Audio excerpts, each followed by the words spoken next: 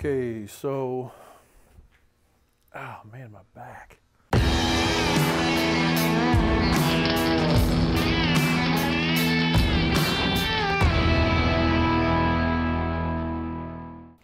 Okay, so now we're gonna work on the lid.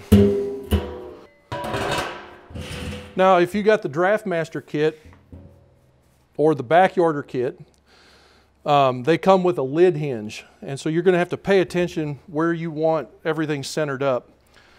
So like for instance, right here's the front dead center of the thermometer. You're gonna wanna have your, your handle on one side of the lid and your hinge on the other.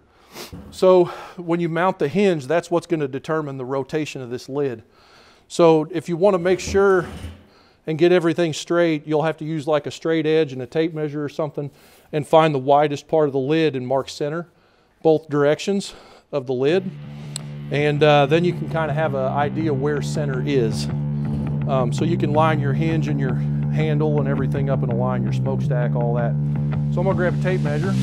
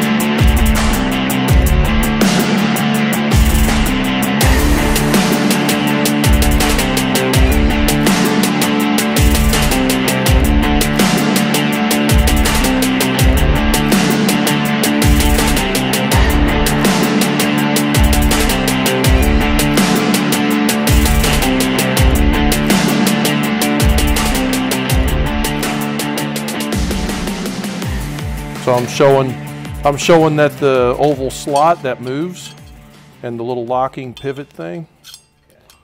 And then we put the clip back in. And when it's all the way shoved that way, it doesn't open. If it's pulled all the way open, it will move. So you have to make sure that this is all the way that way before you bolt it to the side of the barrel.